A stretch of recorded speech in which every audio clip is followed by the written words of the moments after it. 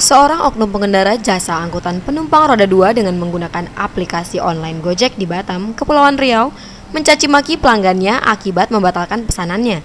Pengendara yang diketahui berinisial S mencaci maki pengguna jasanya lewat pesan singkat di ponselnya dengan kata-kata tak pantas dan melecehkan orang tua sang pelanggan pada Selasa 25 September 2018.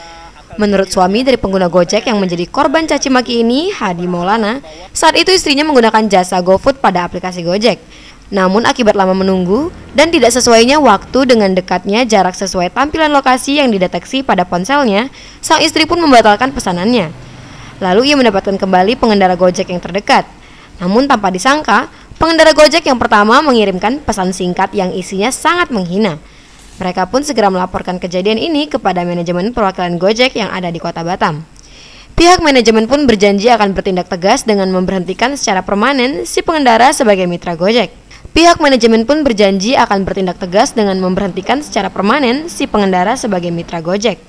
Selain itu, Hadi berencana akan melaporkan caci maki dan penghinaan ini kepada pihak berwajib.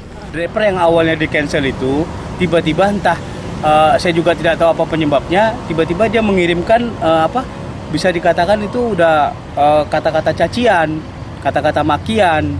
Nah yang saya tidak senang kalau seandainya dia kesal dengan mungkin taruhlah dengan isi saya mungkin dia kesal karena di cancel kalau dia hanya mengata-ngatain isi saya mungkin oke okay lah itu uh, bisa lah kami maklumi. Tapi ini udah membawa ibaratnya kedua orang tua sampai ya kalau menurut saya itu bukan manusia lah bisa keluar kata-kata itu itu udah udah tergolong apa sih namanya hanya hewan lah yang karena tidak punya akal pikiran ya. Nah, meskipun makanya, regulasi dari pemerintah yang mengatur penggunaan kendaraan roda dua sebagai jasa angkutan penumpang tidak ada, namun pengendara dan pengguna aplikasi Gojek di Batam semakin banyak.